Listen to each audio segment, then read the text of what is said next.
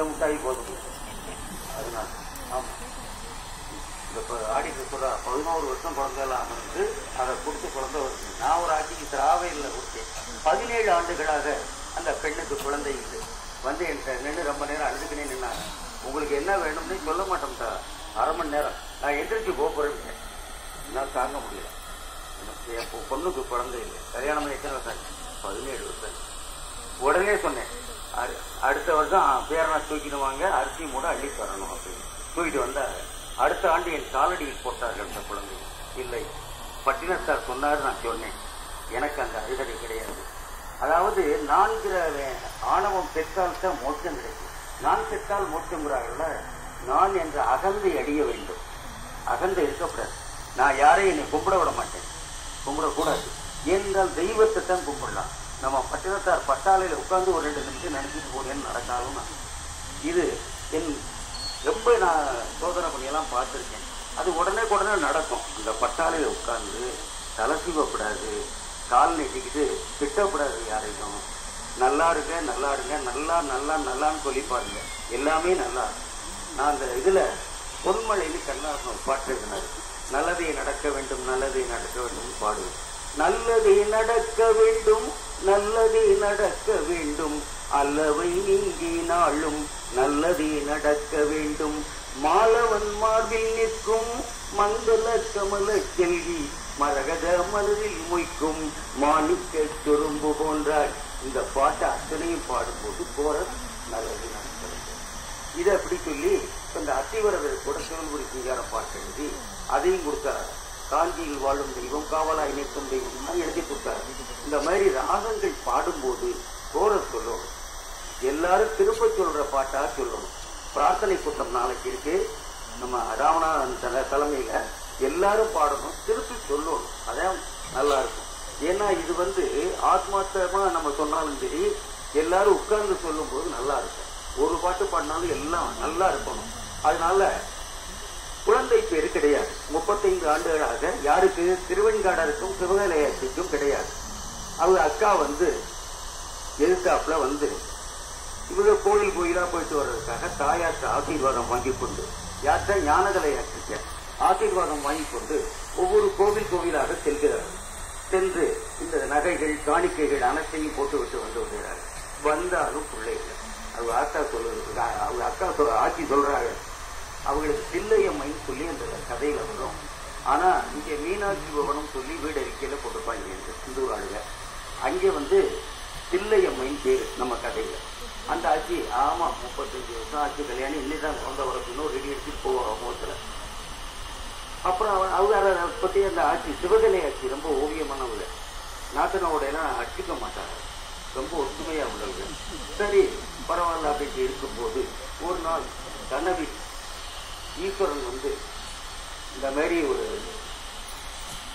அந்தன குடும்பத்துல ஒரு குழந்தைய கொண்டு வந்து கொண்டு வருவார்கள். அதுல நந்தி பொறித்த உருவம் தொட்டிச்சேலை நம்ம தாயாவனத்துக்கு போறோமே முதல் நாள் வந்து புள்ள பார்க்க போறதுன்னு ஒரு காலையில ஒரு நிகழ்ச்சி நடக்கும். இப்ப நேரங்காலம் கருதி எல்லாமே சாயந்தரம் ஒன்றா வச்சுக்கிறோம். அந்த புள்ளைய பார்த்துட்டு அந்த பிள்ளை பிறக்கும் சொல்லி கனவுல ஈஸ்வரன் சொல்லிடுறாரு. சொன்னா இவங்க செட்டியார்ட்ட கேட்கிறாங்க ஏற்கனவே உங்களுக்கு ஒரு இந்த மாதிரி ஏதாவது தெரிஞ்சுக்கா ஆமா அப்படிங்கிற செட்டியார் ரெண்டு பேரும் சேர்ந்து புள்ள பார்க்க போகணும். நம்ம சுற்றத்தாரை கூட்டி கொண்டு போவோம் அப்படின்னு சொல்றாங்க.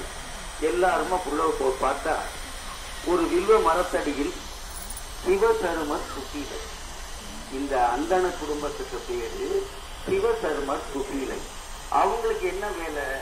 வர்ற அடியார்களுக்கு அன்னம் பறிக்கிறது அதனால அந்த தொண்டுக்கு பணம் இல்லை. அதனால அவங்களுக்கு குழந்தையா யாரு பிறக்கிறா? மகாலிங்க மூர்த்தி. மருதவன குழந்தையா பிறக்கிறது.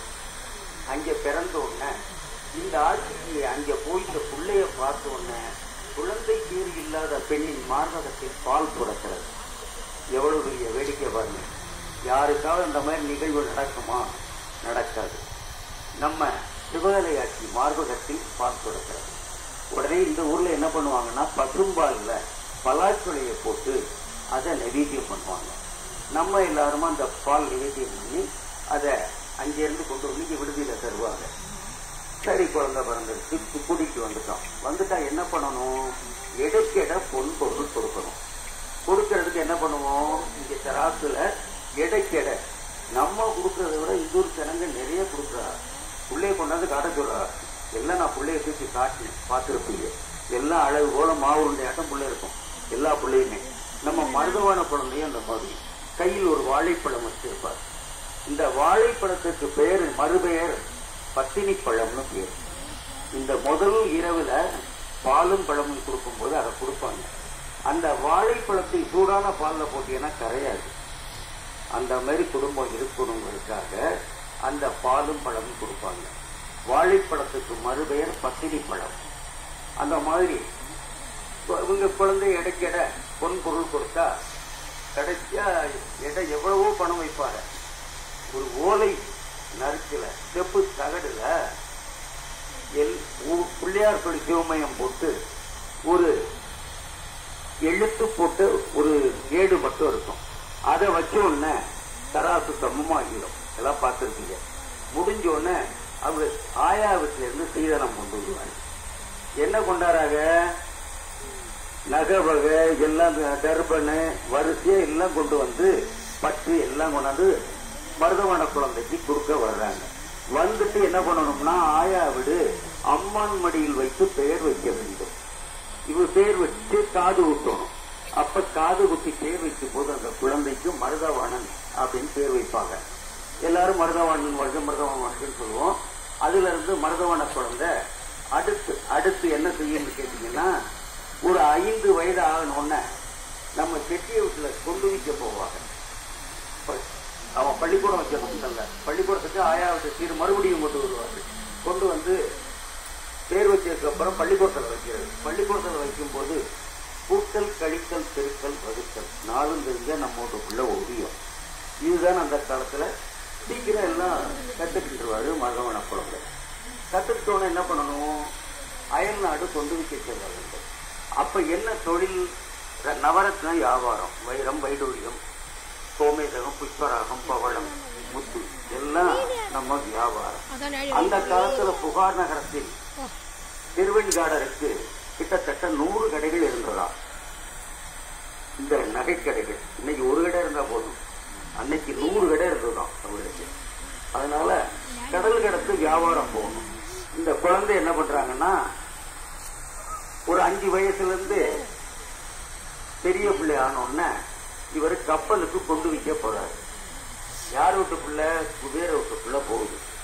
கப்பலுக்கு கொண்டு வைக்க போகும்போது ஒரு தீவுக்கு செல்லும் போது ஒரு மீனை இட்டு முடி உதைத்து விடுவார். உதைத்தால் அந்த மீனானது மணிகிரீவன் சொல்லி அந்த சாப விமோச்சனம் அடையும் ஏனென்றால் மருதவாணர் வந்து தெய்வம் இல்லையா?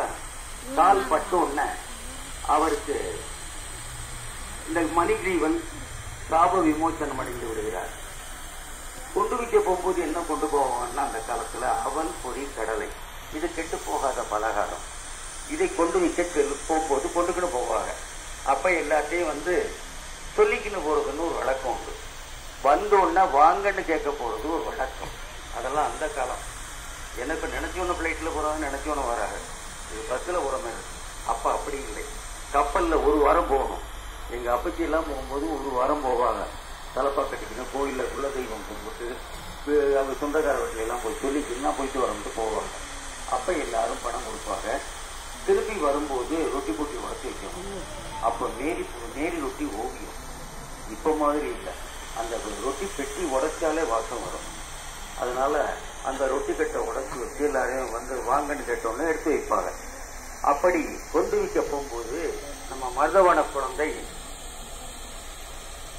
அவங்க நண்பர்களோட எல்லாரும் போறாங்க. இந்த சுனாமி மாரி ஒரு புயல் காற்று வீசுகிறது.